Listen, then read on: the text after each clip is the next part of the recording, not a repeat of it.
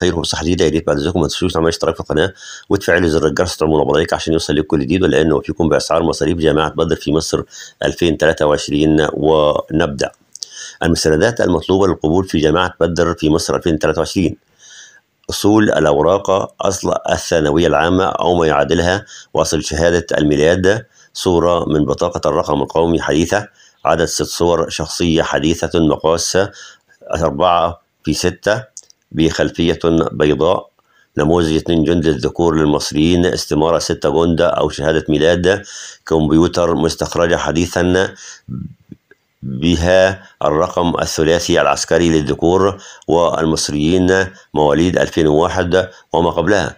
أسعار مصاريف جامعة بدر في مصر 2023 سعر مصاريف جامعة بدر الخاصة لكلية طب الفم والأسنان القسط الأول 57500 جنيه مصري ومصاريف إدارية والقسط الثاني 52500 جنيه مصري. مصاريف سعر مصاريف جامعة بدر الخاصة بكلية الصيدلة الدوائية القسط الأول ومصاريف إدارية 42500 جنيه مصري والقسط الثاني 37500 جنيه مصري.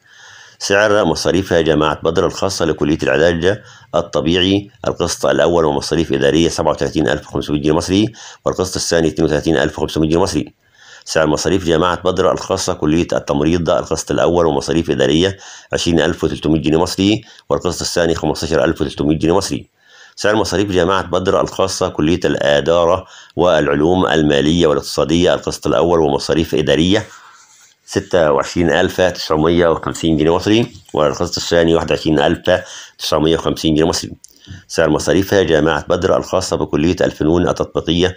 القسط الأول ومصاريف إدارية سبعة وعشرين ألف تسعمية وخمسين جنيه مصري والقسط الثاني اتنين وعشرين ألف تسعمية وخمسين جنيه مصري.